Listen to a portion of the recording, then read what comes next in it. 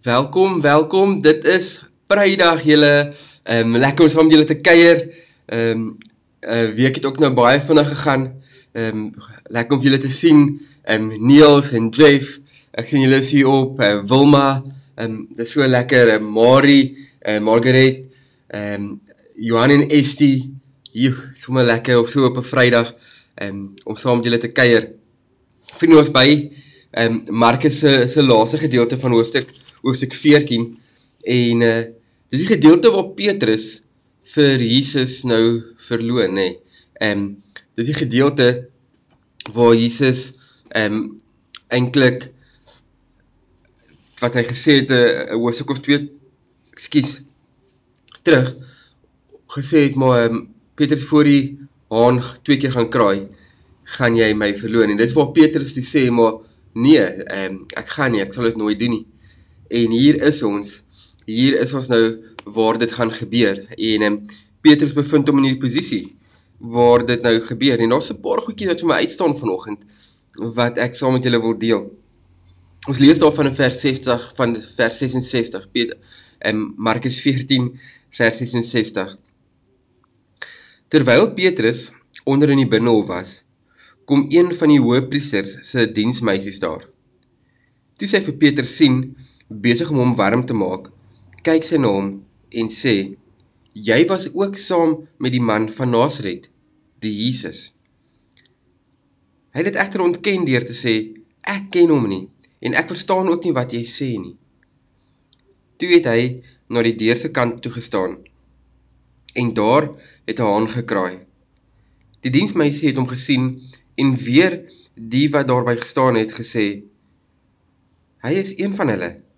Maar hy het dit weer ontken. 'n Rukkie later het die wat daar by gestaan het vir Petrus gesê: "Werklik, jy is een van hulle, want jy mos ook 'n Galileër."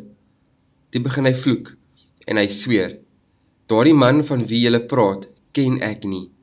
En onmiddellik het die haan 'n tweede keer tweede keer gekraai. Dit het Petrus toe bygeval wat Jesus vir hom gesê het: "Voordat die haan 'n tweede keer kraai, sal jy my 3 keer verloon en hy het in trane uitgebars. So. Ek lees hierdie gedeelte, dan wonder ek waar het dinge begin skeefloop vir Petrus? Hoe het dit gebeur dat dinge net nie vir hom uitgewerk het nie? Hierdie man wat bereid was om enigiets vir Jesus te kon doen, het in 'n oogwink net heeltemal verander. En um, ek lees hierdie gedeelte en dan sien ek aan die begin is daar drie goed wat Petrus verkeerd begin doen het. Ehm um, een van die goed wat hy eers begin doen het, ehm um, is hy het Jesus begin volg van 'n afstand af. Ons sien in Markus 14 vers 54 dat hy dadelik in 'n posisie was waar hy homself gedistansieer het van God af, van Jesus af.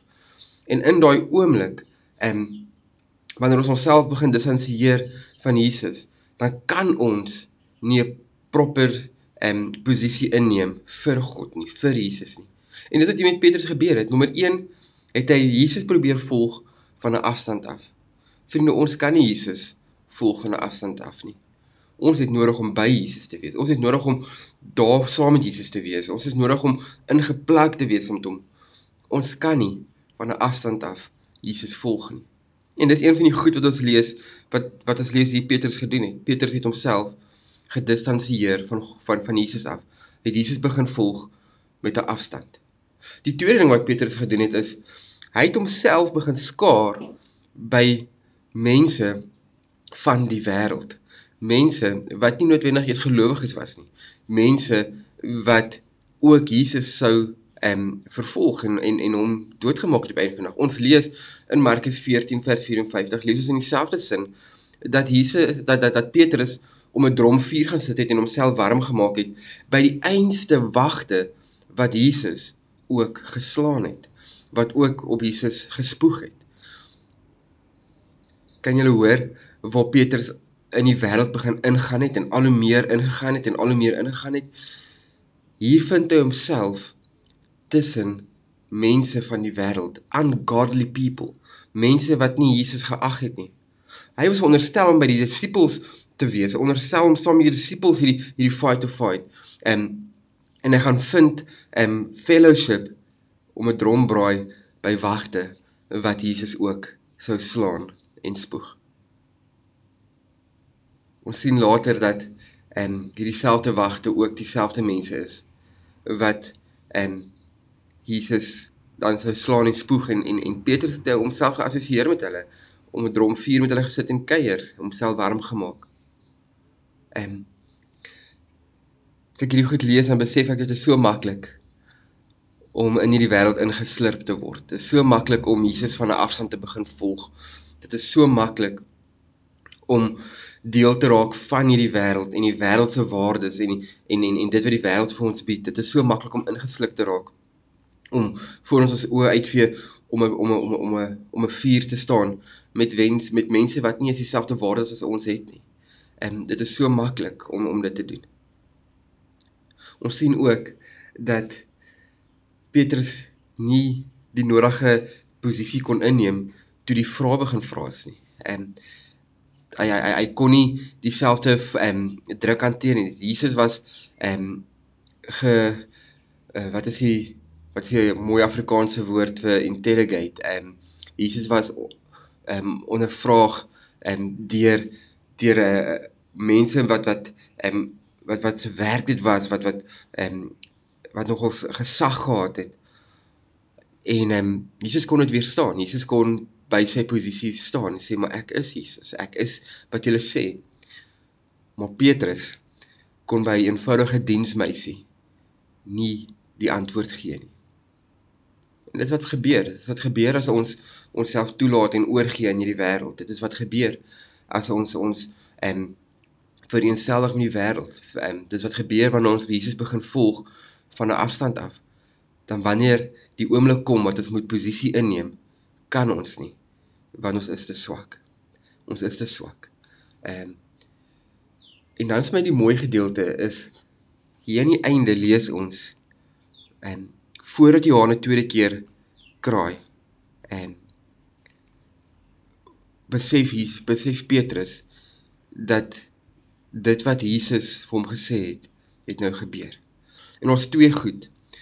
Dis nie die haan wat Jesus wat wat wat vir Petrus oortuig het dat hy besig is om ehm um, op die verkeerde pad te gaan nie dat hy besig is om die verkeerde goed te doen nie. Dit was die woorde van Jesus dit was die woorde van Jesus. Ehm um, dit was die woorde van Jesus wat hom geoortuig het dat hy dat hy besig is met die verkeerde goed. En ons moet dit mooi hoor vandag. Dit is Jesus se woorde wat maak dat ek en jy op die pad bly. Dit is Jesus se woorde wat maak dat ons gefokus bly. En dis Jesus se woorde, dis die skrif wat wat vir ons maak dat ons op die pad gefokus bly en vorentoe gaan. Ehm um, En dit is so belangrik dat ons hier wat ons doen in die oggende ter harte sal neem en en daaroor sal mediteer en reflekteer en dit ons eie sal maak.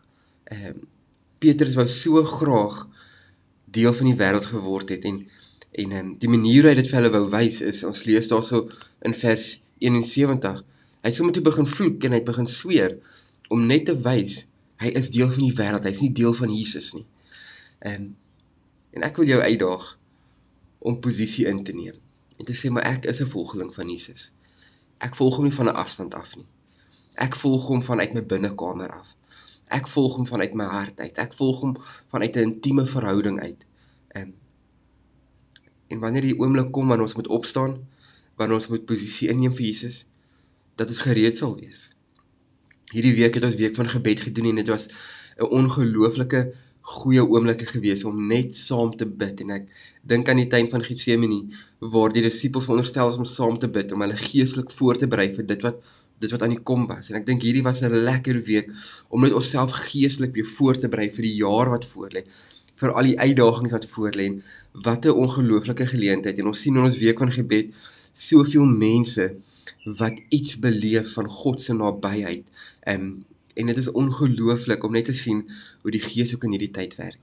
En dit is my wens ook vir jou in hierdie tyd dat jy God se nabyheid sal beleef en dat jy nie hom van 'n afstand af sal volg nie. Mag jy geseënd wees, mag jy ongelooflike lekker naweek hê.